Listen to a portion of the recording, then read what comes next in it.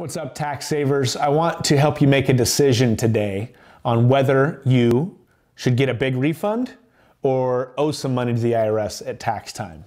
And it really does make a difference on your personal preferences.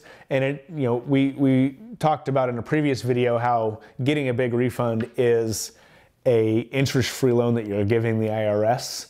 Well, sometimes that's okay if you're gonna go instead of taking that money and having the IRS pay you nothing for it, if you're gonna go take it and put it on a credit card that you have to pay 15% interest on, then maybe it's better for the IRS to hold it and make that a forced savings account. So if you're naturally a saver and an investor, I would say have the biggest take home paycheck that you possibly can. So claim eight or nine withholdings on your, on your W-4 and get as much take home as possible.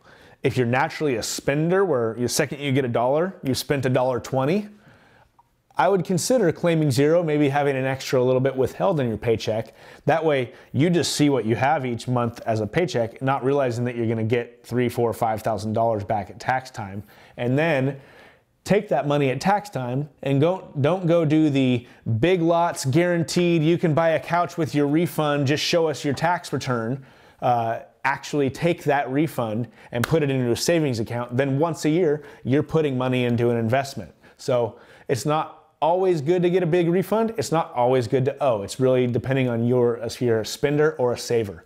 Uh, so hopefully I helped you make that decision today. If I did, hit a love or a like. Either way, I would love to have some sort of engagement from you. Don't just lurk back in there. Uh, and I hope you found some value in this and we'll see you next time.